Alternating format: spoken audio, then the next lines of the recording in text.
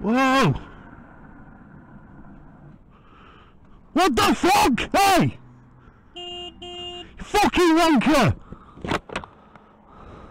You may be a bit undecided as to who was at fault here. So let me break it down for you and show you the chain of events and explain to you what was going through my head. And then maybe you can make the decision as to who you feel may be at fault. And I'd, I'd appreciate your comments down below as well. So here we go.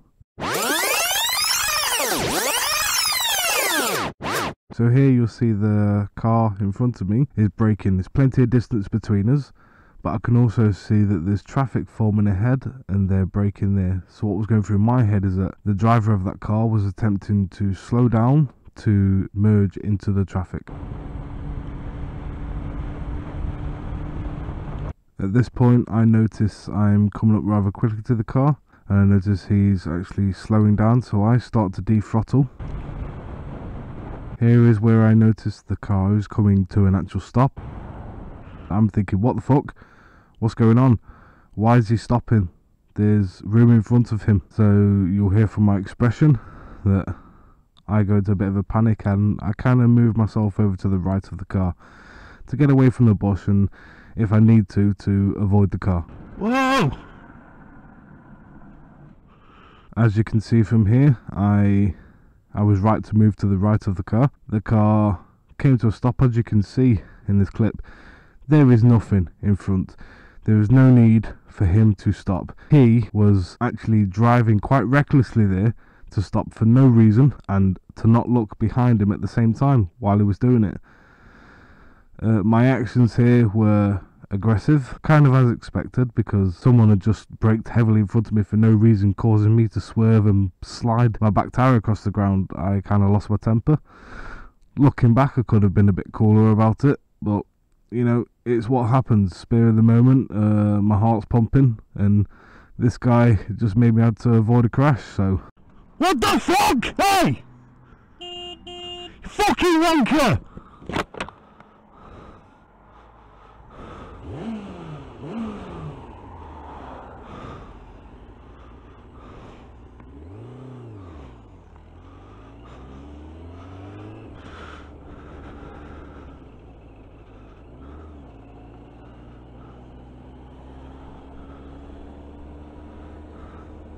So from here, I've calmed down now.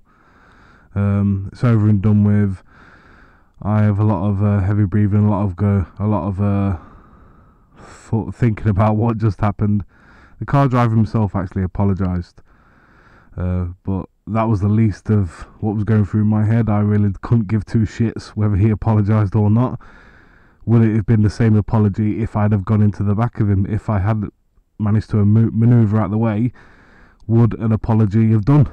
You know, that's what was going through my head. So it was over and done with. Please let me know what you think. Maybe you think the way I was driving was wrong. Um, put it in the comments below. Uh, thanks for watching. Bye. Oh.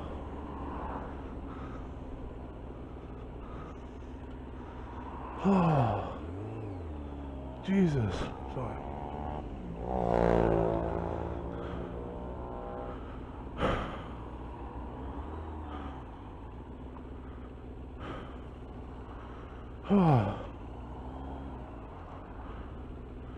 What's Right, it's cool.